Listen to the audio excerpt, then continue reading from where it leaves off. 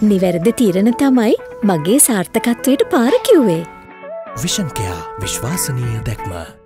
මාධ්‍ය හැටියට ඒ අවශ්‍ය නිදහස මගේ යටතේ සම්පූර්ණයෙන්ම ලැබෙනවයි කියන එකත් මම තහවුරු කරන්නට ඕන. වගේම වැරදි දේවල් විවේචනය කිරීම එක කිසිීම ප්‍රශ්නයක් නෑ එක විය යුතුයි. මාධ්‍යයට විශාල වගකීමක් තිබෙනවා. ද මගේ ජයග්‍රහණය ගැන බැලුවොත් විශාල බලාපොරොත්තු සහිතව තමයි ජනතාව ඡන්දය ලබා දුන්. දැන් අපි දැක්ක රැල්ලක් ඇති වෙලා තියෙනවා තරුණ තරුණයන් අතර විශේෂයෙන්ම කවුරුවත් මෙහෙවන්නේ නැතුව පින්තූර ඇඳ ඇඳලා පිරිසිදු කරන්න මේවා සමාජය තුළින්ම ඇතිවෙච්ච ප්‍රවණතාවය. දැන් මේකෙම පේනවා කොපමණ බලාපොරොත්තුවක් රට තුළ ඇති වෙලා තියෙනවාද කියලා. මෙවැනි බලාපොරොත්තු ඉදිරියට ගෙන යාමත් මං හිතන්නේ මාධ්‍යයෙන් සිදුවුණොත් ජනතාව බලාපොරොත්තු වෙන මේ අපේක්ෂාවන්ට රුකුලක් කියලා මම හිතනවා. මගේ පැත්තෙන් මම ඉල්ලන්නේ මම කිසිම අයුරකින් මාධ්‍යයට බලපෑමක් කරන්නට සූදානම් නැහැ. හැබැයි මාධ්‍ය බොරු ප්‍රචාර ගෙනියන්න කරනවනම් රටේ ජනතාව වෙනුවෙන් කරන